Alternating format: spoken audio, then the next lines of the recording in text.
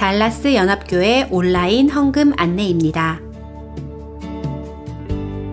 헌금은 컴퓨터 또는 스마트폰을 사용해 온라인으로 드리실 수 있으며 체크를 동봉하여 우편으로 보내실 수도 있습니다. 먼저 교회 홈페이지에 접속해 주세요. 인터넷 검색창에 달라스 연합교회를 검색하세요. 달라스 연합교회를 선택하세요. 홈페이지 상단에 있는 온라인 예배 항목을 선택하세요. 온라인 헌금 항목을 선택하세요.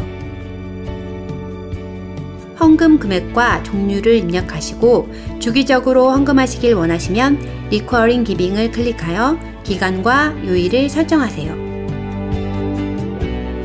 성함과 이메일 주소를 입력하시고 신용카드 또는 은행 계좌를 선택하셔서 입력하신 후에 마지막으로 송금 버튼을 누르시면 됩니다.